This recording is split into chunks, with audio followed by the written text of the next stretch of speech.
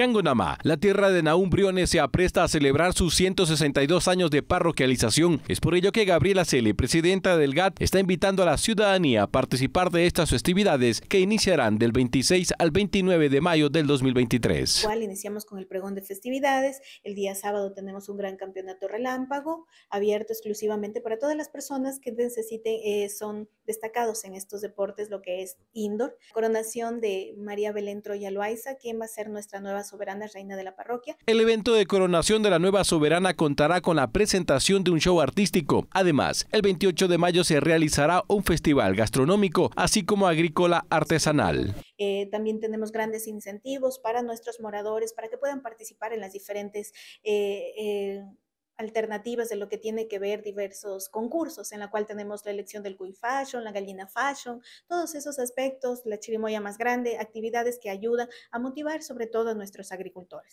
Mientras que para el día central de parroquialización, que es el 29 de mayo, se desarrollará la sesión solemne a partir de las 9 de la mañana. Comenzamos con el desfile cívico y posteriormente la sesión solemne en la cual nos acompañan autoridades desde la provincia de Loja, cantonales y parroquiales. De esta manera, a través de las autoridades del GAT parroquial, de Cangonamá invita a la ciudadanía a participar de las festividades por los 162 años de parroquialización, donde además esperan trabajar de la mano con todas las instituciones en las diferentes necesidades que tiene este sector.